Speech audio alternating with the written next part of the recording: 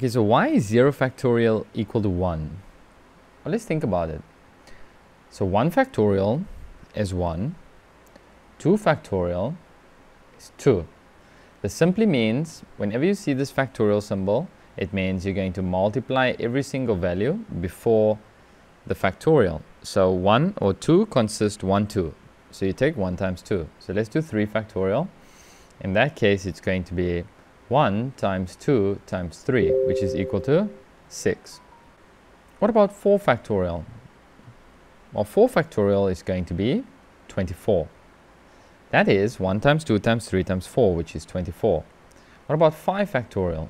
Well, 5 factorial in this case is going to be 120. So if I multiply to go downwards, can I do the reverse?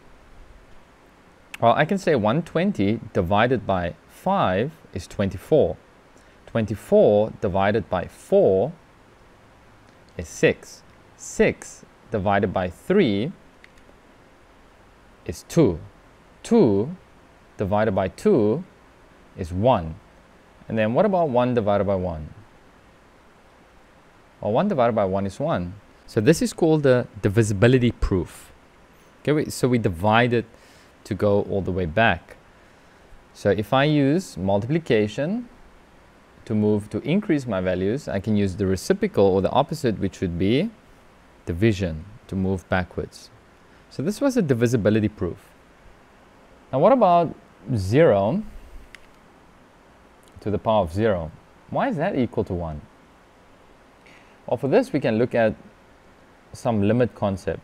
So we can say the limit as x approaches 0 for x to the power of x.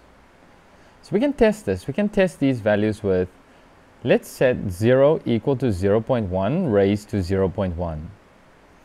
And after this, we can say 0 0.01 raised to 0 0.01. So I'll go over to Desmos and we can see what happens. Okay, so let's see 0 0.01 raised to 0 0.01. And we can see 0 0.95. What happens if I increase this with one decimal place? I see 0.99. What happens if we increase it again? So now I'm going to increase it with three zeros. One, two, three. One, two, three.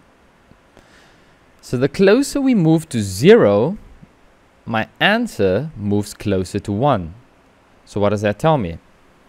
That tells me that the limit as x approaches zero, in this case, where we have zero raised to the zero, is in fact going to be 1 since my answer is getting smaller and smaller and smaller or my base and my exponent is getting smaller, smaller, smaller and my answer will eventually reach 1 at some limit.